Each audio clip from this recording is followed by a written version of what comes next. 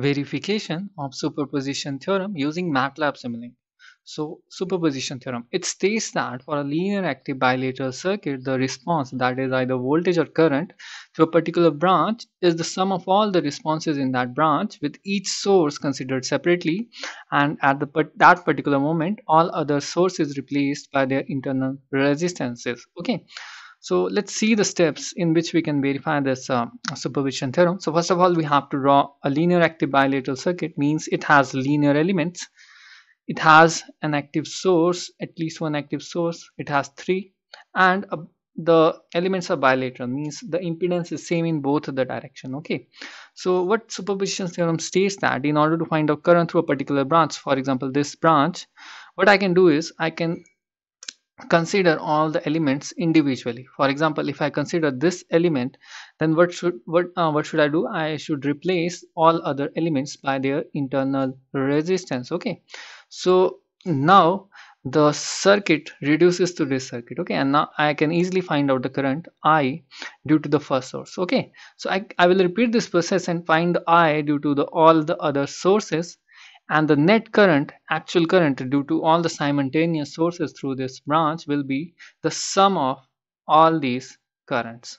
So let's move on to MATLAB Simulink to verify this. Okay so let's start Simulink. Okay let's create a blank model.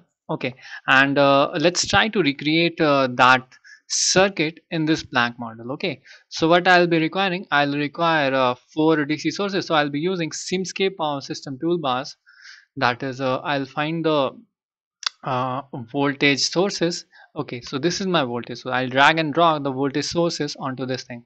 So I require three of them. So I'll right click it hold it and drag it to make it three sources. Okay I can double click it to change the default value of this voltage. Suppose let me just change it to 200 volts and let me change this value to 300 volts. Okay you can uh, do this according to your own requirement. Okay.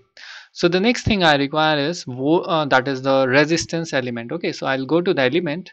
I'll uh, go to the rlc branch and i'll uh, drag and drop this rlc branch here. Okay. So I want a resistance branch simple. So I'll double click it and convert it into a resistance branch. Okay. So the default value is 1 ohm. Okay. So I'll uh, again uh, recreate uh, or replicate this thing into four values like this. Okay so one uh, one of the resistance I require in a clockwise direction so I'll right click it and rotate it in clockwise direction okay? So this is my complete uh, element. These these are my complete sources okay? So I'll uh, simply connect all these as per my actual circuit okay? So let me just connect these real quick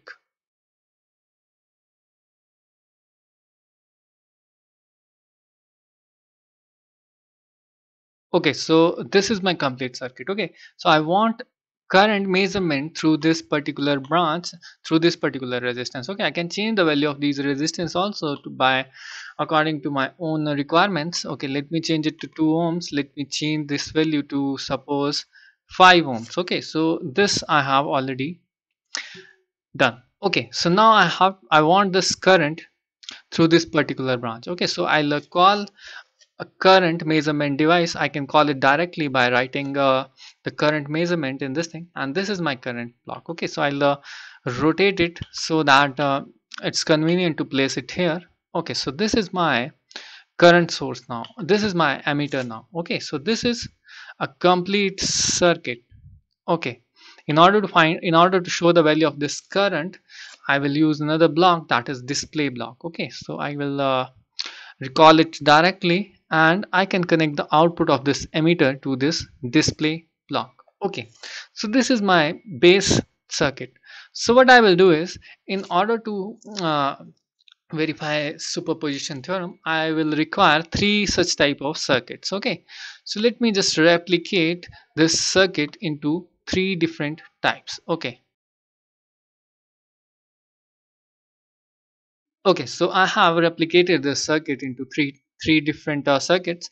And what I will do is I will consider each of the voltage source individually in these circuits. So let me just consider this individual source and I'll replace other sources by their internal resistance. And internal resistance of voltage source is uh, ideal voltage source is zero. So I'll uh, replace that with the help of short circuit. Okay. In this I will uh, consider the second block uh, uh, second source and uh, replace the uh, rest of the two with the internal resistance. And in the last one I'll consider the third source. Okay. So yeah this I have done. Okay. Now according to superposition theorem the net current or the net output through this branch that this display is showing should be equal to sum of all the currents that these individual circuits are showing. Okay. So we have to add the value of all these currents. So let me just add these values using an add block. Okay so it has only two inputs so I can increase the input by just double clicking it and adding a plus sign to this thing. Now it has three inputs. Okay so I'll connect the inputs to the output of all the ammeters like this. Okay so let me just connect them connect them real quick. Okay so before simulating this uh, output okay let me use a display to get the output of this sum also okay. So if the two displays that is this display and this display shows me the same value then I can safely conclude that superposition theorem is verified. Okay. So before simulating I will have to add one more block that is power GUI block. This without this block the simscape power system toolboxes do not work. Okay. So let me just simulate it real quick and yeah.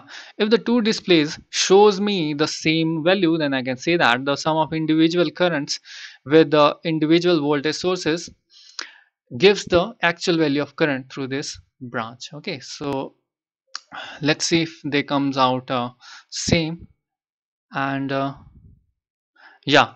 So we can see that the both of the values are coming to be equal. So this verifies our superposition theorem and that's it for this video. I'll share the dot this dot slx files uh, along with this video. So thank you